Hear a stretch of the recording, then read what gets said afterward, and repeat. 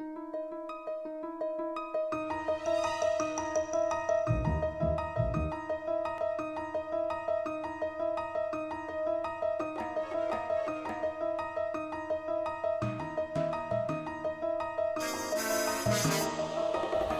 Hello there, this is Dawn from Willows Activity Farm. I'm just here to tell you a little bit about what's going on over the half term. Our pumpkin week has loads to keep you busy. You can pick your own pumpkins, you can carve them here to save making a mess at home. We have lots of shows with Peter Rabbit and his friends. We have Sam Tastic, our magician, who's going to be here with his shows.